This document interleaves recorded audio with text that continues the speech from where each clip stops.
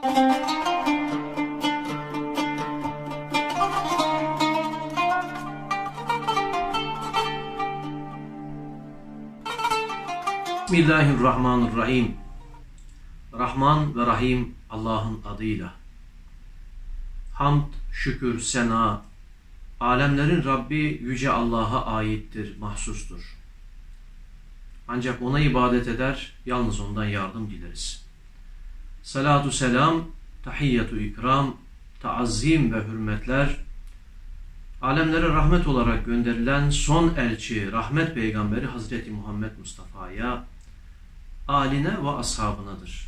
Yolundan giden müminlere selamlar olsun. Kıymetli müminler, değerli din kardeşlerim, Eles bezminde, ruhlar aleminde Rabbimizle kulluk sözleşmesi gerçekleştirdik. Elestu bi rabbikum kalu bela. Ben sizin Rabbiniz değil miyim? Şüphesiz elbet sen bizim Rabbimizsin buyurduk. Rabbimiz bizlere kulluk için bizleri yarattığını beyan etti dünyaya imtihan maksatlı aldı.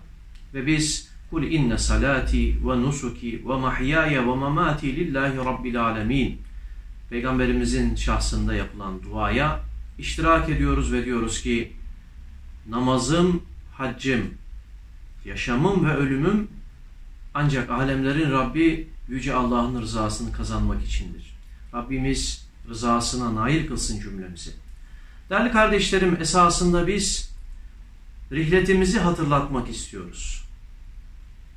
Ramazan ayının 20. günündeyiz ve büyük yolculuğumuzu konuşacağız. Ruhlar aleminde başlayan, anne karnına geçen, oradan dünyaya, dünyadan da ukbaya. Bugün inanmayan insanlar arasında ahirete giden mi oldu, ölüm sonrasından haber veriyorlar diye eleştiride kendince mantıki yol yürütmek suretiyle bir şeyler söylemeye çalışıyorlar. Biz anne karnından örnek verelim. Anne karnında her birimiz 9 ay 10 gün kaldık. Annemizin yedikleriyle beslendik. Küçük bir dünyamız vardı orada hareket ettiğimiz.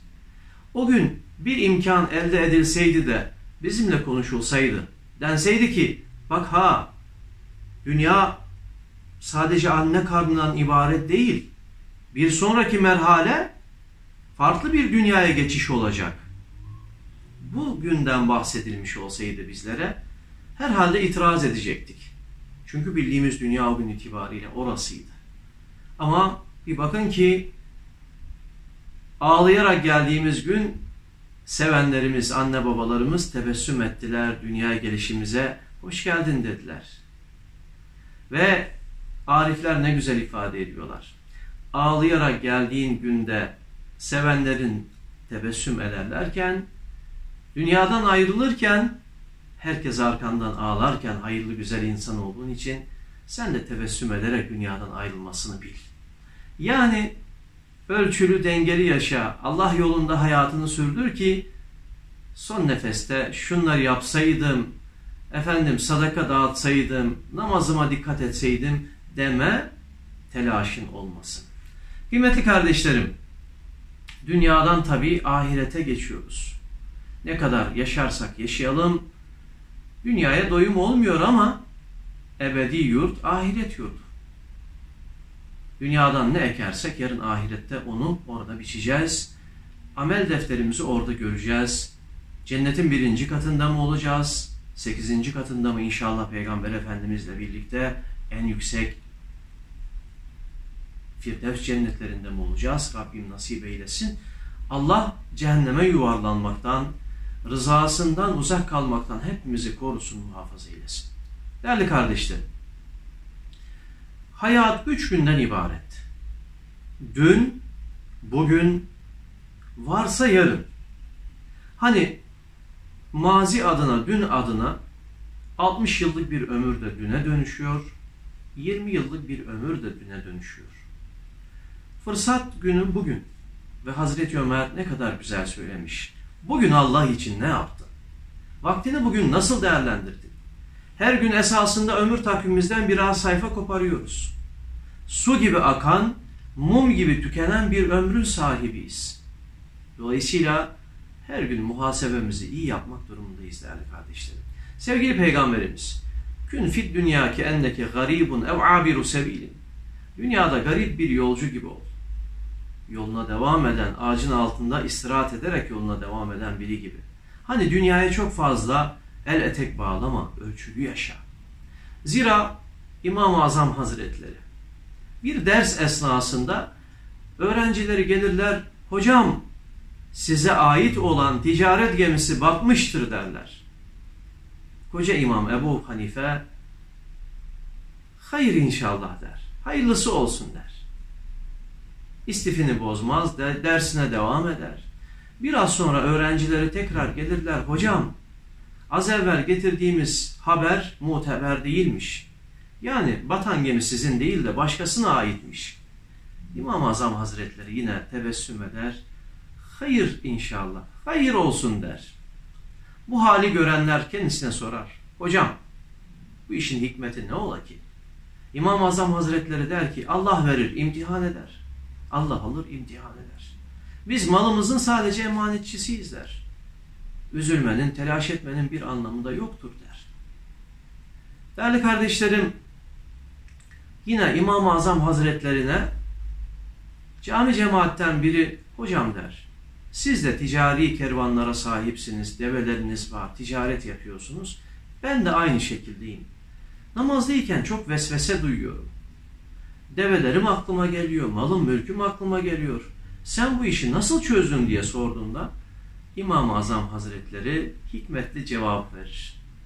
Namaza gelmeden evvel develeri dama bağlıyorum, dünyalıkları kalbimden çıkarıyorum, o şekilde geliyorum diye söyler.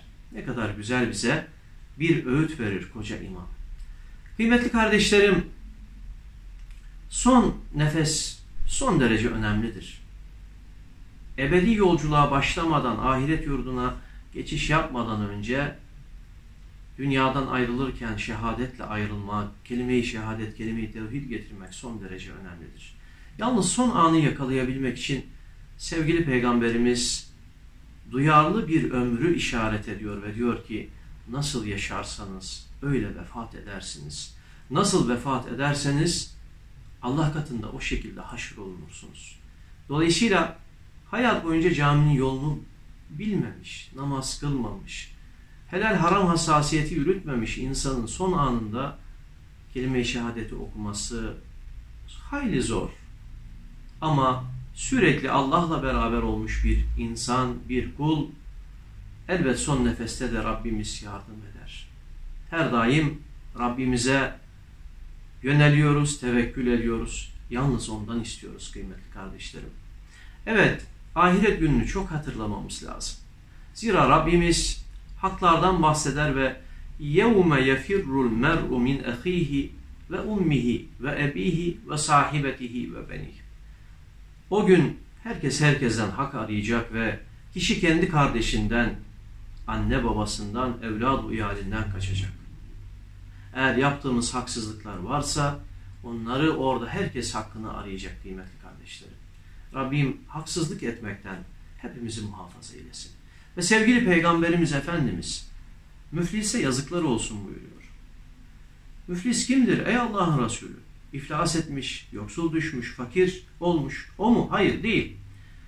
Efendimiz sallallahu aleyhi ve sellem cennete gitmek üzereyken bir kişi benim kul hakkım, arkamdan konuştukların, gıybetler, yalanlar, hakkımdan yaptığın haksızlıklar diyerek hak arayanlar, kişinin namazına, haccına, orucuna efendim talip olunca cennete gitmek üzere olan insanın cehennem yönüne ilerlemesine sevgili peygamberimiz, kıymetli kardeşlerim, iflas eden olarak nitelendiriyor. Rabbim bizleri muhafaza eylesin.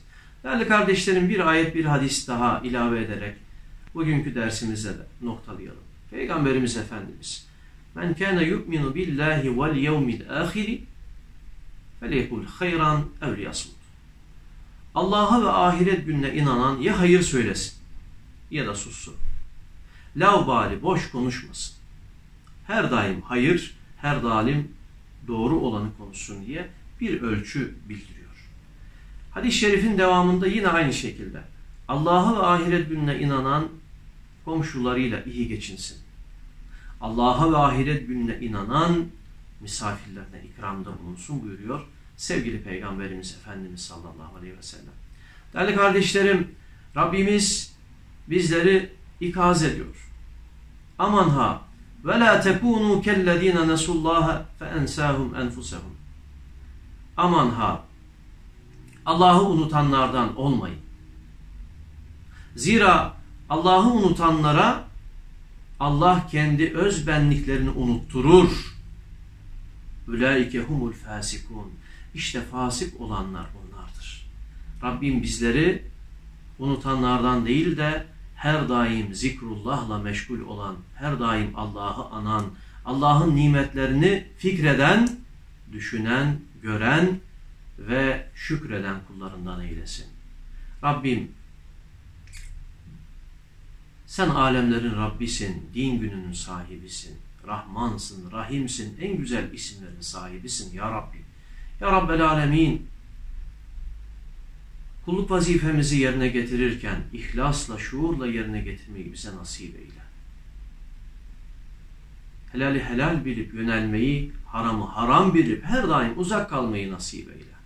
Bizi salih, eşlerimize saliha, evlad-ı iyalimizi de hayırlı evlatlardan, ana baba sözü dinleyen, itaatkar, salih kişilerden eyle ya Rabbi. Ya Rabbel Alemin, Kur'an ve sünnet-i seniye ile hayatımızı şekillendirmeyi, hayatımızı tayin etmeyi, gündemimizi oluşturmayı bize nasip eyle. Son nefeste de razı olduğun kişilerden eyle ya Rabbi. Ya eyyetuhen nefsül mutmainne irci'i ila rabbiki radiyeten mardiyye fedhuli fi ibadi ve cenneti ayetinin sırrına cümlemizi nail eyle. Elhamdülillah.